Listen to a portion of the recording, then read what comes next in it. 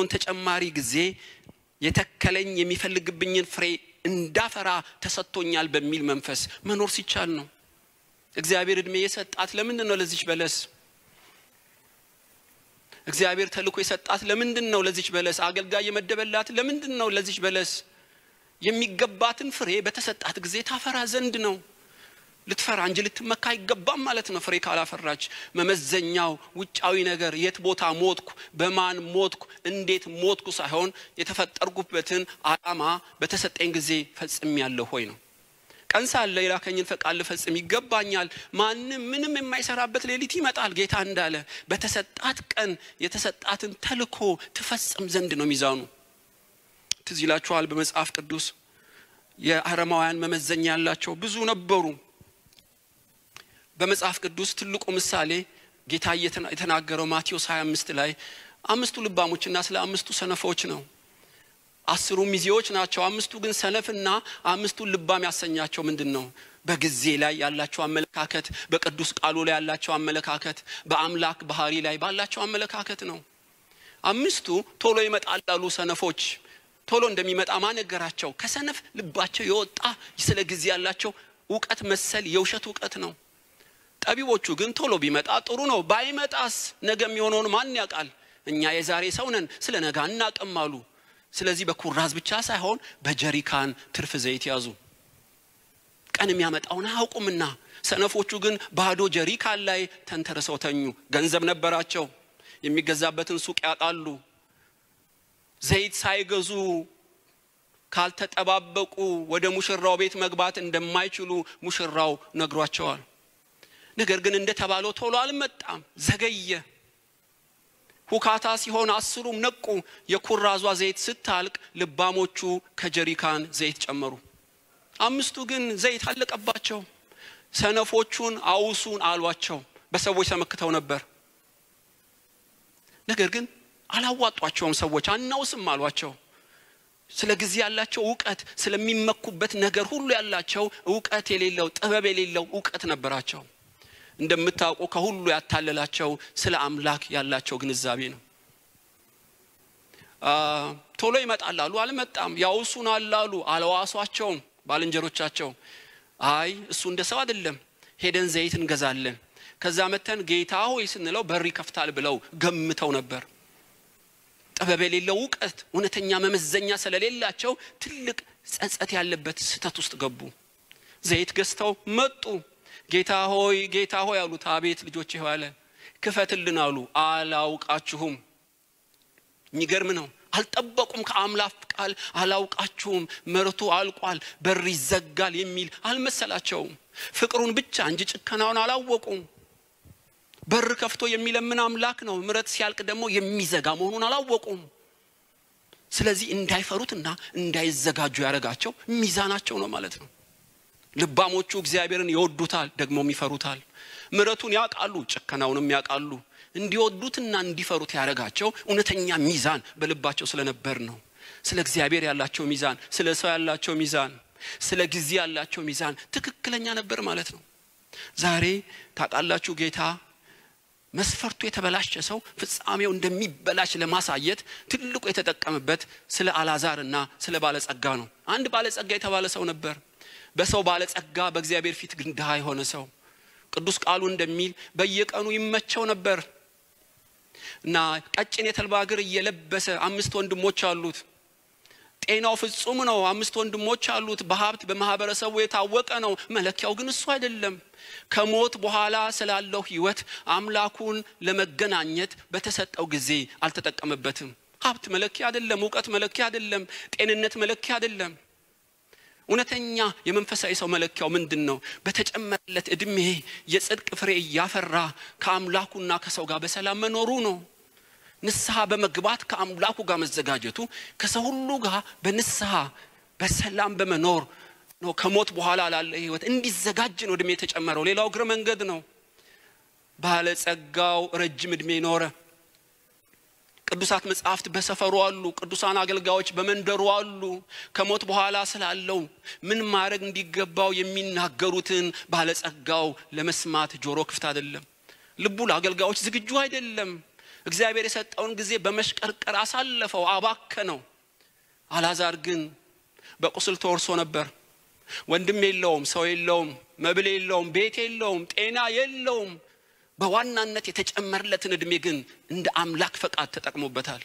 ከሞት በኋላ ላለው ሕይወት በንስሐ ከሞት በኋላ ላለው ዘላለማዊ ሕይወት ከአምላኩ ጋር በመታረቅ ቅዱስ ቃሉን አንብቦ ነበር። የነቢያትን ምክር ሰምቶ ነበር። አልዓዛር አልዓዛር ቶሎ ሞተ።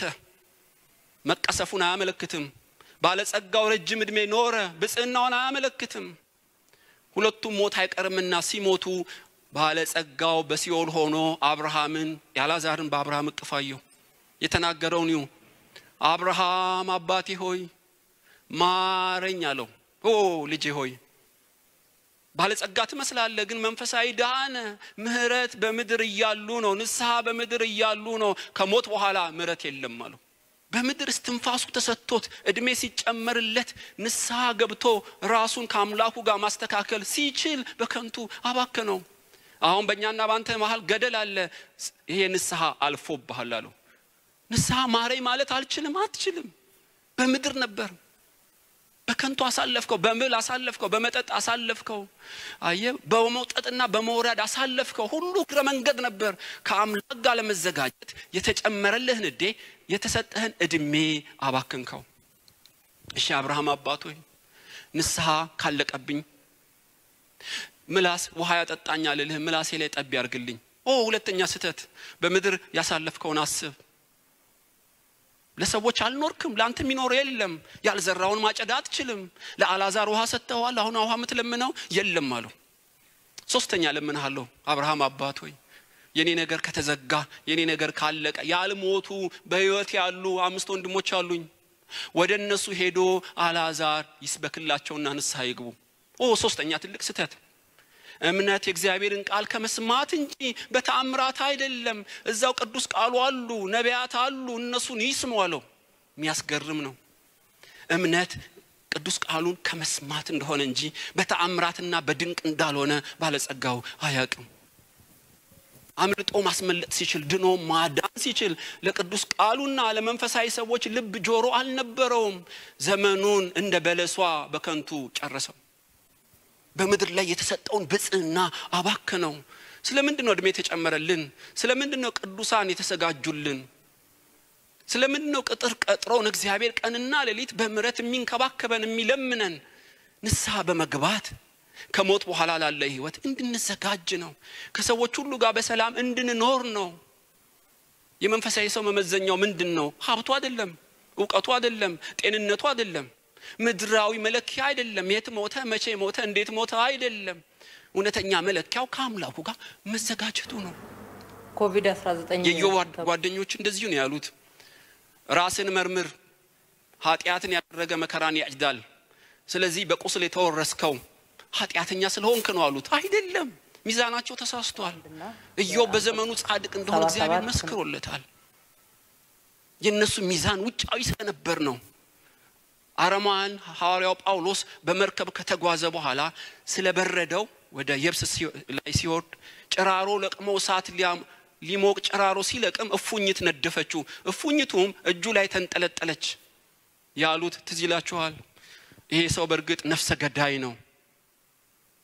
ከዛ ማዕበል ሁሉ ቢድን እግዚአብሔር ለፍርድ አልተወውም አሉ። እፉኝቷን ወደ እሳት ሲጥላት አምላክ ነው አሉ። ሁለቱም ትክክል አይደለም። ነፍሰ ገዳይም አይደለም ጳውሎስ፣ አምላክም አይደለም። ሚዛናቸውን ያሳሳታቸው፣ መለኪያቸውን ያሳሳታቸው ሐዋርያው ጳውሎስ ንስሐ በመግባት ጌታችን መድኃኒታችን ኢየሱስን በማመን ለሰው ሁሉ ማዳን የሚሆን የምስራች የሚሰብክ የተወደደ ሰው ነው። ከእግዚአብሔር ጋር ራሱን በንስሐ ያስተካከለ ሰው ነው። ለሰው ጥቅምና ለእግዚአብሔር የሚኖር ሰው ነው። በጳውሎስ ላይ ያለው መለኪያው ስህተት ስለሆነ አረማውያን ነፍሰ ገዳይ ነው አሉ። እፉኝት ደግሞ ወድቃ በጤና ሲኖር አምላክ ነው አሉ። ትክክል አይደሉም ሁለቱም መመዘኛ። የመንፈሳዊ ሰው መመዘኛው ምንድን ነው?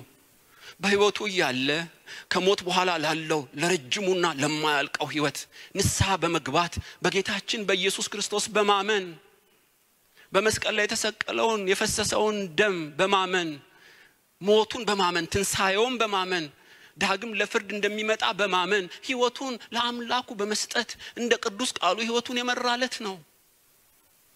መመዘኛችን ሀብት አይደለም፣ ብር አይደለም፣ ወርቅ አይደለም።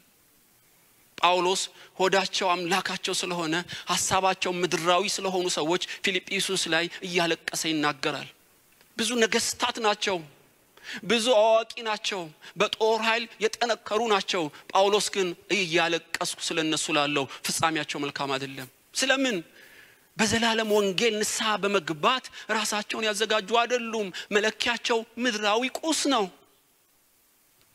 መለኪያቸው ውጫዊ የሚጠፋ ነገር ነው። ሞትን የማይሻገር ነገር ነው። ቅዱስ ቃሉን በማንበብ በትህትና ከአምላካቸው ጋር የሚሄዱ አይደሉም። እንደ ኤሳው ለሚጠፋ እንጀራ ብኩርናቸውን የሸጡ ናቸው። ስለዚህ ጳውሎስ ይላል ሆዳቸው አምላካቸው ነው፣ ሀሳባቸው ምድራዊ ነው። እያለቀስኩ ላለው ፍጻሜያቸው ጥፋት ነው። ጳውሎስን ያስለቀሰው ምንድን ነው? እውቀትና ሀብታቸው፣ ጤናቸው አይደለም። በወንጌል ቱንቢ ሲለካቸው በንስሐ ቱንቢ ሲለካቸው ልባቸው እልከኛ ስለነበር ነው። እድሜ የተሰጣቸው ንስሐ በማግባት የጽድቅ ፍሬ እንዲያፈሩ ነበር። ከክርስቶስ በሚገኝ የጽድቅ ፍሬ ጸጋውን እንዳያባክኑ፣ ቃሉን እንዳይሸቅጡ፣ እግዚአብሔርን በመፍራት እንዲኖሩ ነበር። ከቱንቢ ውጭ ነበሩ። ጳውሎስ አለቀሰ። እቺ በለስ የብዙዎች ምሳሌ ነች። አሳፍ በመጽሐፍ ቅዱስ የተወደደ ዘማሪ ነው። ታውቃላችሁ፣ በመዝሙረ ዳዊት ከዳዊት ቀጥሎ የተወደደ ሰው ነው አሳፍ። እሱ መመዘኛው በአንድ ወቅት ተበላሽቶ እግዚአብሔር ነው ያቃናለት። እግዚአብሔር ልቡ ለቀና ሰው ቸር ነው። እጅ ንጹሕ ይሁን እንጂ ልብ ንጹሕ ይሁን እንጂ ምድራዊ ቸርነትን ትጠግባለህ፣ ሀብት ትጠግባለህ፣ ጤንነት ትጠግባለህ፣ በእንሰሶች ትባረካለህ ብሎ ዘምሮ ነበር። ሲያየው ግን እውነት ሆኖ አላገኘውም። ኃጢአተኞች ወዛቸው ግጥም ብሏል። እግዚአብሔርን የሚሳደቡ በሀብት ጨምረዋል። ምንም ቁስል ደርሶባቸው አያውቅም። በሕይወት ዘመናቸው ሲከታተል እግራቸውን አነባብረው ልጆቻቸውን ስመው አልጋ ላይ በሰላም አንቀላፉ። ጻድቁ ግን በየቀኑ መከራ ይቀበላል። አሳፍ ግራ ገባው። ልቡ ንጹሕ የሆነ እጁ ንጹሕ የሆነ ቸርነቱን ይጠግባል ብዬ ነበር። በኃጢአተኞች ቀን ነው። ሚዛኑ ምንድን ነው ብሎ እግዚአብሔርን ጠየቀው። እግዚአብሔርም የአሳፍን ሚዛን አስተካከለለት። መለኪያ ተሳስቷል አሳፍ። እኔ ስንት ጊዜ ሆስፒታል ገብቷል፣ ስንት ጊዜ ሆስፒታል አልገባም አይደለም መመዘኛዬ። ስንት ሀብት አለው፣ ስንት የልጅ ልጅ አለው፣ ስንት ከብቶች፣ ስንት ፋብሪካ፣ ስንት ኢንዱስትሪ አለው አይደለም መለኪያዬ አሳፍ። በምድር ላይ ከአምላኩ ጋር ለመዘጋጀት በንስሐ የሚኖር ሰው ነው ወይ? ከሞት በኋላ የዘላለም ሕይወት ለማግኘት በሕይወት መዝገብ ስሙ ተጽፏል ወይ? ከአምላኩ ጋር በትህትና ከሰዎች ጋር በሰላም ይኖራል ወይ ነው ሚዛኔ። አሳፍ ተሳስተሃል፣ ሚዛንን አስተካክላለሁ። አሳፍም እንደ እንስሳ በመናገሬ ይቅር በለኝ፣ አሁን ገብቶኛል መመዘኛ።